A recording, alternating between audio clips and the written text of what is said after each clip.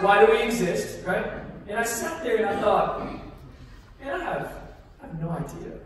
Like I sat there thinking, my dad's a pastor. I know that there's a God. I know that Jesus died for me. I know that Jesus rose from the dead. I know that I'm supposed to be a good kid, but why am I here? What is my purpose? And I started to wonder, like, what is going on here? Man, I'm supposed to know this answer. And I was wrestling, I was wrestling, I was wrestling.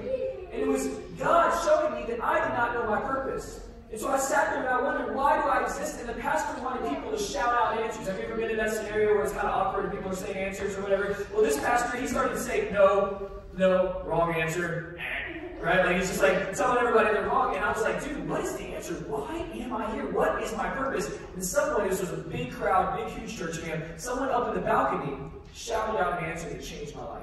What was the question? Why do you exist? Someone in the balcony shouted this out. To glorify God. I sat there and I said, oh my gosh. Here's what, here's what I was concerned about. If I were to be honest. I was concerned about being popular. I was concerned about being really good at sports. I was concerned about having a pretty girlfriend. Just saying.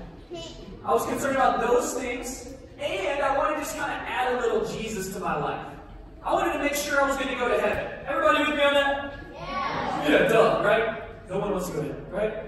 And so, like, that's what it was for me. If I to be honest, my Christianity was I'm going to do my own thing, have a lot of fun, fit in with my friends, and oh yeah, Jesus was pretty cool. But can I tell you, that's not what life is about.